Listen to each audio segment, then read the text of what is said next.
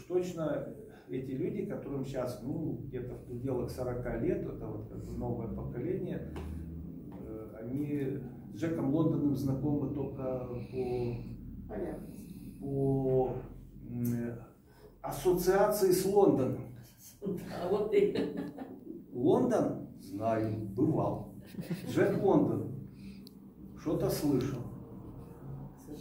Да. Потому что не читает сейчас. но это, это все издержки эпохи, и пройдет и это, и, будут люди снова читать и возвращаться к Надеемся. произведениям Джека Лондона, потому что э,